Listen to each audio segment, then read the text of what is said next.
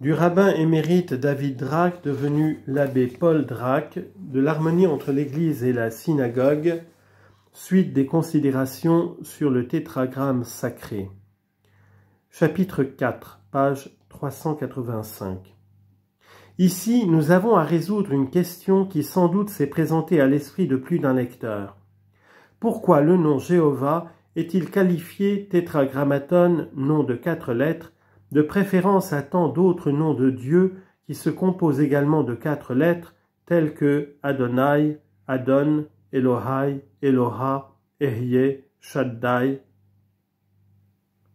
On lit en note, ce mot de la racine Shaddad est de quatre lettres, mais au lieu d'écrire deux fois le Dalet, on n'en met qu'un avec le Dagesh fort qui le redouble. Fin de note c'est que chacune des quatre lettres du nom appelé par excellence vénérable a une mystérieuse et sublime signification. Le nom ineffable tétragrammaton ne contient, ainsi qu'il est facile de le voir, que trois lettres différentes, la quatrième est la même que la seconde répétée. Nous allons examiner la valeur de chacune de ces lettres d'après la doctrine de la plus haute théologie de la synagogue, appelée la tradition secrète la Kabbale. Premièrement, Yod, cette lettre désigne le principe premier. On lit en note. Saint Jérôme, et dans son livre De Nomidibus Hebraicis et dans la lettre 30 à Paulam, dit Yod, principium aut dominator. Ce n'est certes pas la signification du nom de cette lettre, mais son sens kabbalistique. Cette lettre se rapporte au degré de la royauté de Dieu. Elle est en elle-même un simple point qui n'a point de figure déterminée, et rien ne peut lui ressembler, parce que nul ne peut concevoir ni scruter l'essence éternelle qu'elle désigne. La dérivation de son nom est Yodou, qui signifie qu'il loue, car toutes nos louanges et nos bénédictions doivent aboutir à ce point divin. Telle était l'intention de David lorsque, dans, une sainte extase, il répéta ce mot quatre fois, disant qu'il loue Yodou Jéhovah. Psaume dans le texte hébreu 107, versets 8, 15, 21 et 31. Ailleurs, psaume 140, verset 14, il dit Les justes seuls, Yodou, louent dignement ton nom. La même lettre est appelée encore point intellectuel et formel, incompréhensible pour toute créature, point qui se dérobe aux yeux de l'intelligence de tous les êtres vivants, de telle manière qu'il n'est pas permis à, l'homme de le soumettre à sa méditation. Il est tenu de croire sans comprendre, car la nature, l'essence du point principe reste insaisissable pour l'âme intelligente tant que celle-ci n'est pas dans le ciel en présence de Dieu. Cette lettre est appelée dans le langage mystique le mystère, ou plutôt l'occultation de la sagesse, dont les sages ont dit N'approfondis pas ce qui est occulte pour toi et ne cherche pas à pénétrer ce qui t'est caché. On lit en note Le Talmud, traité Hagiga, folio 13 recto, cite cette sentence comme étant un verset du livre de Ben Sira, l'Ecclésiaste, que les Grecs appellent Jésus fils de Syra. La synagogue ancienne donne encore ici un démenti aux protestants qui osent rejeter ce livre saint du corps de l'écriture. Elle est appelée encore les choses cachées de la sagesse céleste.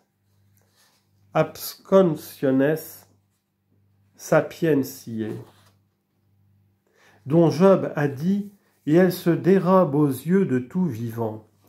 Job chapitre 28 verset 21. Elle est nommée de plus la volonté illimitée, la pensée, dont il est dit au psaume 92 verset 6, Tes pensées sont très profondes, et dans l'Ecclésiaste chapitre 7 verset 24, Profond, profond qui pourra y atteindre. Rabbi Simeon ben Yochai, le rédacteur du Zohar, enseigne le point primitif du Yod est la couronne suprême. Dans notre écriture, il s'étend de manière à avoir au-dessous de lui un corps qui est la sagesse céleste. Ce corps se termine par un autre point, Yod, qui est la prudence céleste. Cependant, ces trois ne sont ensemble qu'une lettre unique, un point unique.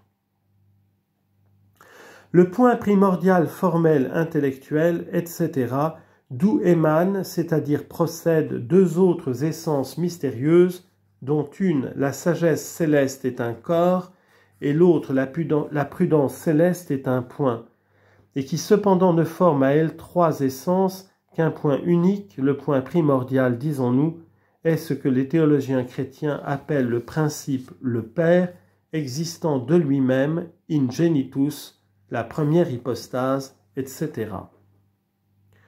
2. La lettre He.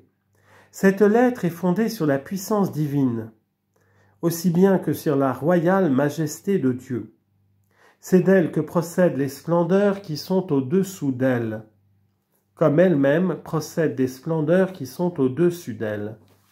Si au lieu de sa figure ordinaire, He, vous transportez le point à droite, elle devient le nom Yad, la main.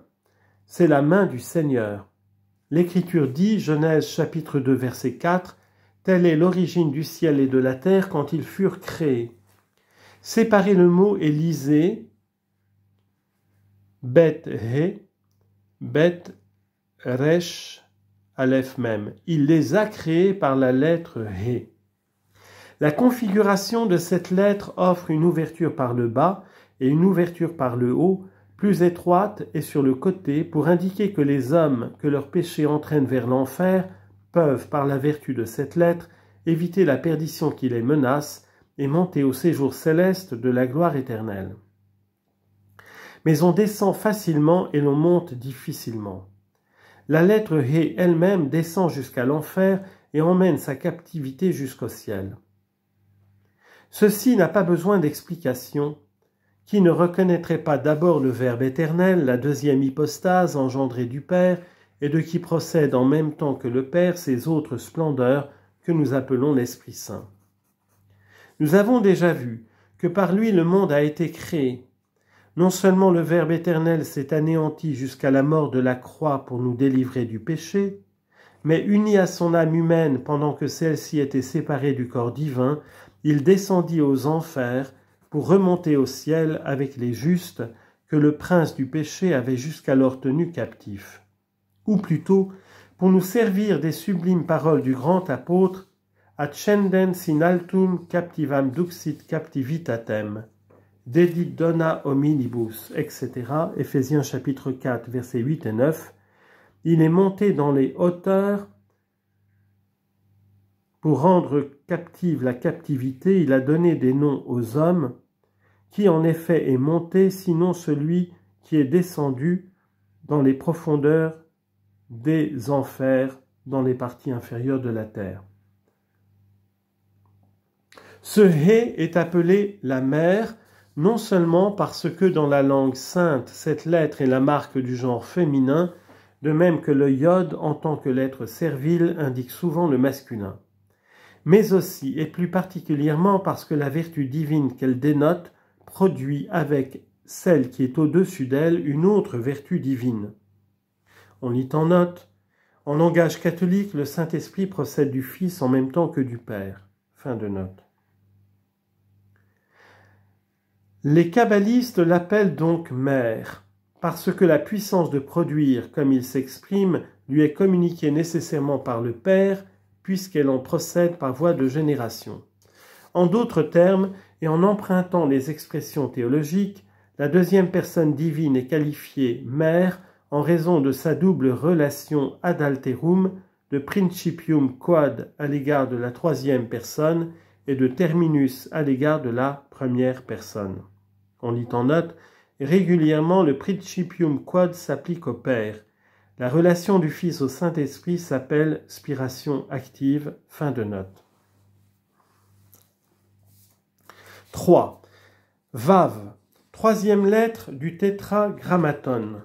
Son caractère est de lier par un lien d'amour, car il est la préposition et, et, et par suite il est le mystère d'union, union absolue des vertus célestes. Il a en soi la vie unitive et la communique aux autres. Ainsi que l'annonce sa configuration, Vave, il est l'arbre de vie, il est le fleuve des grâces qui coule vers tous, la flamme allongée qui va éclairer et embraser les cœurs, tandis que le iode est un charbon ardent, formant un point immuable et sans figure déterminée. Il regarde en haut parce qu'il reçoit son influence de la suprême couronne céleste, et il se prolonge en bas pour communiquer cette influence à ce qui est au-dessous. Il est la colonne du monde, Vave parce que son essence même est la prudence. Enfin, il s'appelle Esprit et il est fils de Yod et de He. Malgré leur langage kabbalistico-mystique, les anciens rabbins, dans ces diverses définitions, dessinaient assez nettement le Saint-Esprit.